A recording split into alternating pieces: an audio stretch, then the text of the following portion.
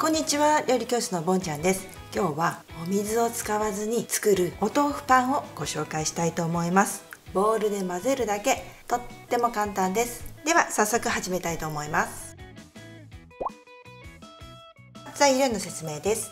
お豆腐。お豆腐は絹を使います。米粉イーストサイルーム。サイルームについては概要欄をご覧ください。お塩お砂糖油以上です。では作っていきます。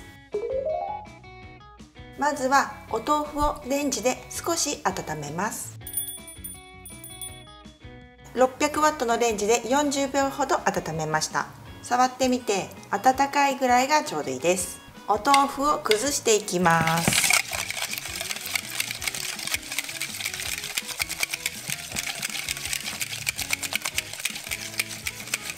イーストを振り入れます。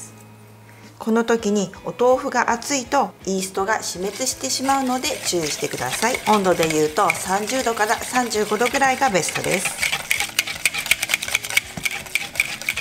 お砂糖。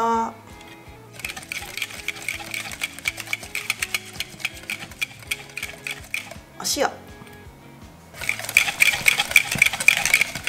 サイリウム。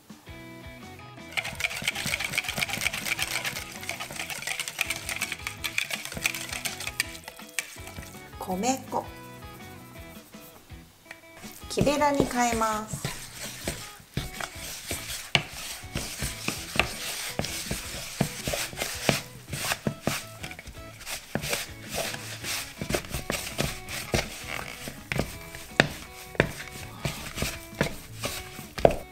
こんな感じで一つにまとまれば OK です。お豆腐の水分によっても硬さが変わってきますので硬いようだったら水分。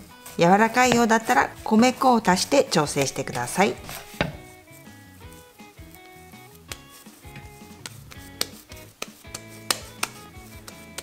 形を整えます。少し手を濡らしてあげるとやりやすいです。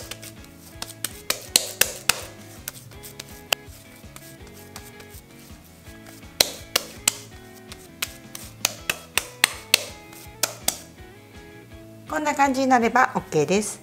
ボウルに戻してシャワーキャップをかけて暖かいところに置いておきます。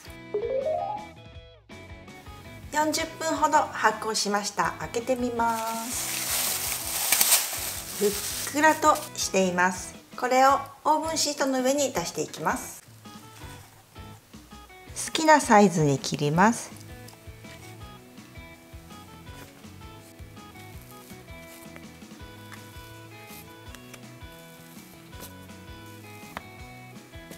カットしたらそれぞれをくっつかないように離します。表面に油を塗ります。これで焼いていきます。綺麗に色がつきました。とっても美味しくてヘルシーなのでぜひ作ってみてください。このチャンネルでは料理がもっと楽しく楽になる料理術を娘に伝えたいレシピ集とともにお届けしています。この投稿が参考になりましたらいいねボタンとチャンネル登録をよろしくお願いいたします。ご視聴ありがとうございました。